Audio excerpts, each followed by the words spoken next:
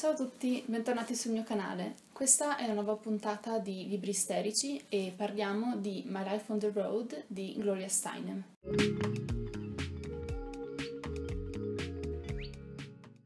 Come saprete questo è il primo libro nel gruppo di lettura di Emma Watson ehm, che eh, ha lanciato recentemente su Goodreads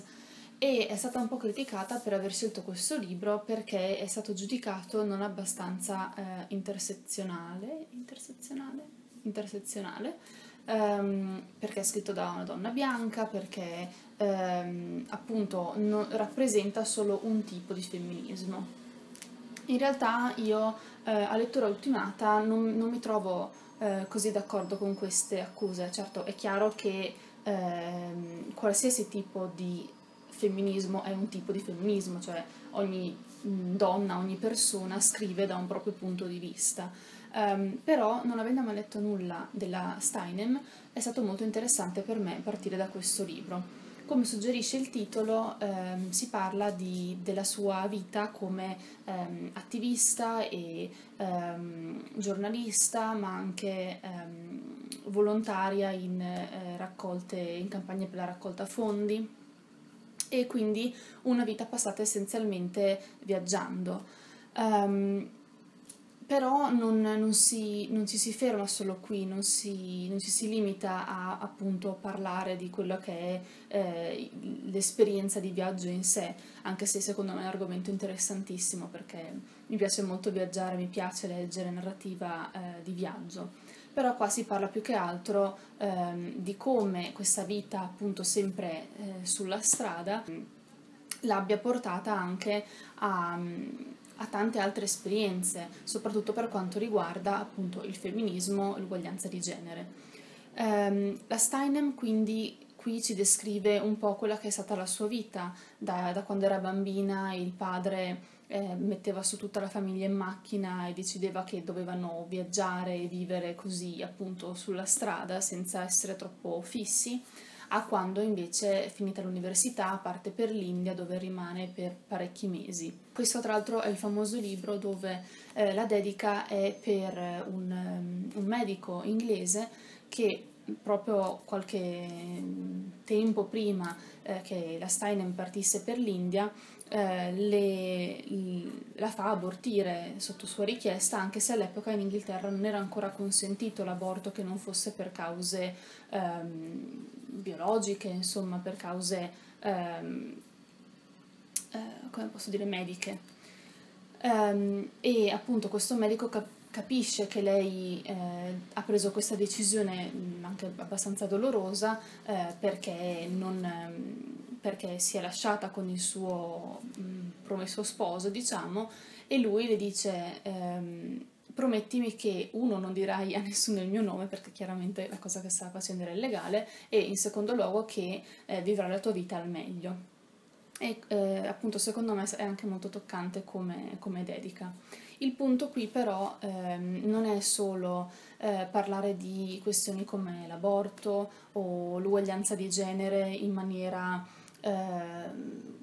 come dire, soltanto ehm, generica o eh, accennata. Secondo me lei fa un ottimo lavoro nel, ehm, in un certo senso, esporre tantissimi aspetti del femminismo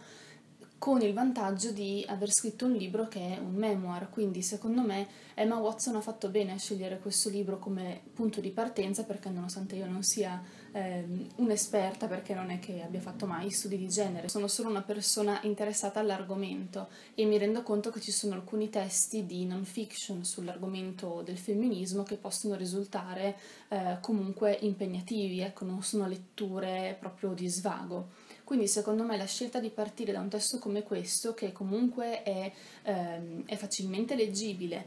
mh, mm, però al tempo stesso eh, tratta vari aspetti importanti del femminismo, perché io ad esempio ho trovato che lei parli molto di ehm, donne di colore, donne native americane, donne eh, latinoamericane, ehm,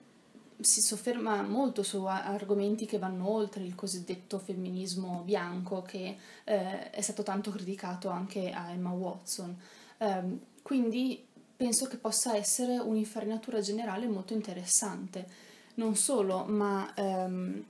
lei ancora adesso è tipo più di 70 anni, continua ad essere un'attivista e continua a fare quello che ha sempre fatto. Um, e tra l'altro ovviamente io sto rosicando tantissimo perché ci sarà un incontro a fine febbraio qui a Londra con Emma Watson e, e appunto la Steinem e ovviamente i biglietti sono andati sold out in tre secondi, ma vabbè. Uh, dicevo, è una lettura um, molto interessante, piacevole, eh, ma a tratti anche illuminante. Io ad esempio ho scoperto cose di cui non avevo proprio alba, come ad esempio eh, il fatto che la Chiesa cattolica fosse eh, a, a, favore in un certo senso dell'aborto, che anzi lo, lo, regolarizzasse in un certo senso, o che i preti fino al Medioevo, adesso non mi ricordo bene che anno, eh, potessero sposarsi e avere figli. Ho ancora imparato tantissime cose su, ehm, sui cosiddetti indiani d'America, sui nativi americani. Quindi penso che ehm, la scelta di questo libro sia stata oculata. Chiaramente ehm, eh, non è, è, uscito da poco perché è uscito nel 2015, quindi non è una, una pietra miliare ancora di, per quanto riguarda la, la letteratura o, sia di prosa che di non fiction femminista, però secondo me, soprattutto se si è profani dell'argomento, può essere un ottimo punto di inizio. E adesso sono molto curiosa di eh, invece cominciare il libro eh, successivo per il mese di febbraio, perché ce l'avevo già e non l'avevo dovuto comprare, che è eh, Il colore viola di eh, Alice Walker, che tra l'altro viene anche citata eh, qua. C'è anche una foto perché eh, si, si, conoscono. Adesso la trovo ve la faccio vedere. Ah, ecco. Quindi, mm, niente.